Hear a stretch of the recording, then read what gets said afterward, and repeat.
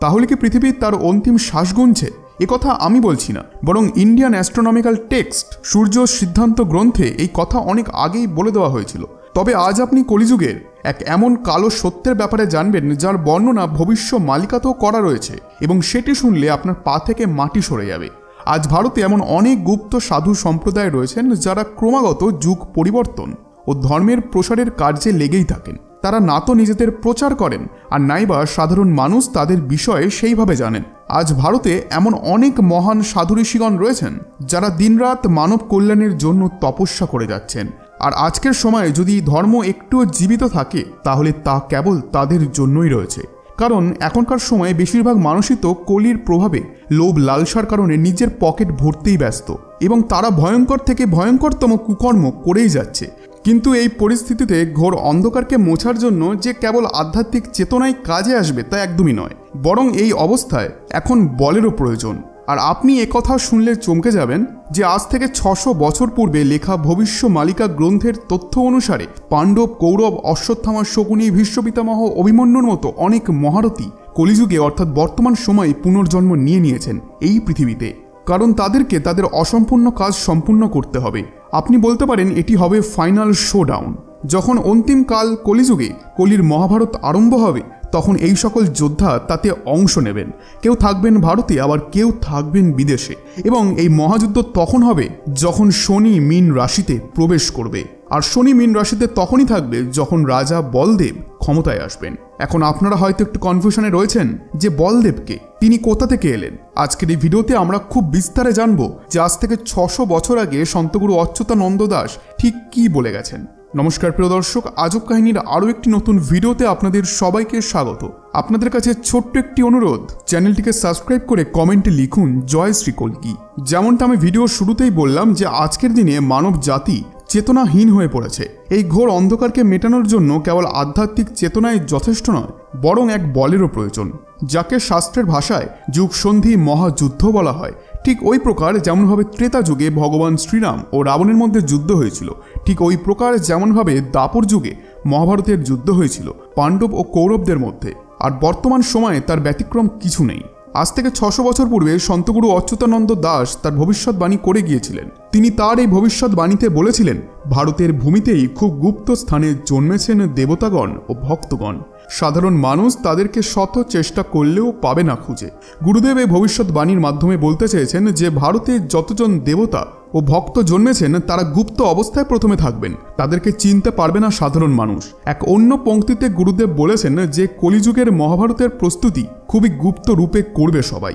তখন রাজা হবেন অনন্ত কেশরী। এই ভবিষ্যৎবাণী অনুসারে যখন ভারতবর্ষের রাজা অনন্ত, অর্থাৎ বলদেব হবেন, তখন এই সকল গুপ্ত স্থানে জন্ম নেওয়া ভক্তগণ দেবতাগণ এবং যোদ্ধাগণ সবার চোখের আড়ালে গোপনভাবে কলিযুগের মহাযুদ্ধ মহাভারতের প্রস্তুতি নেবেন।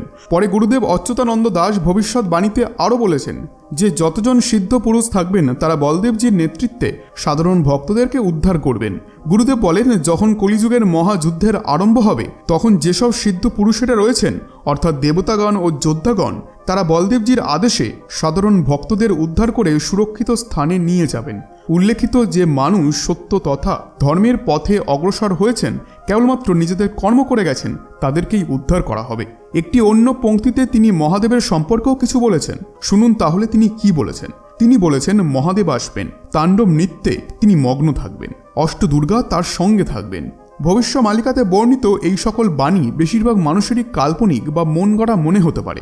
কারণ এই জিনিসগুলি খুবই সিক্রেটভাবে করা হচ্ছে এবং এখনও পর্যন্ত বেশিরভাগ মানুষই এই ব্যাপারে টেরও পাননি। এই জিনিসগুলি সিক্রেটলি এই কারণেই করা হচ্ছে, কারণ এই যুগের নামই মহাকলিযুগ। এই কলিযুগে সবথেকে শক্তিশালী হবে কলি, এতটাই শক্তিশালী হবে যে চাইলে সে যুগ পরিবর্তনকেও আটকে দিতে পারবে। তাই জন্য তাকে হারাতে এই যুগে স্ট্র্যাটেজি প্রয়োজন। এখন প্রশ্ন হলো, যদি সত্যি দেবতাগণ, যোদ্ধাগণ এবং ভক্তগণেরা জন্ম নিয়েই থাকেন, তাহলে তারা এখন কোথায় আছেন? এটি খুবই গুরুত্বপূর্ণ একটি প্রশ্ন, যার উত্তর আমি এখনই দিচ্ছি। সন্ত গুরু বলেছেন, অশ্বত্থামা জার্মানিতে গুপ্ত অবস্থানে জন্ম নেবেন। যুদ্ধে তাকে না পারবে কেউ আটকাতে। ভূরিষ্ঠবা জন্ম নেবেন চীনে, এক ভক্তের বেশে।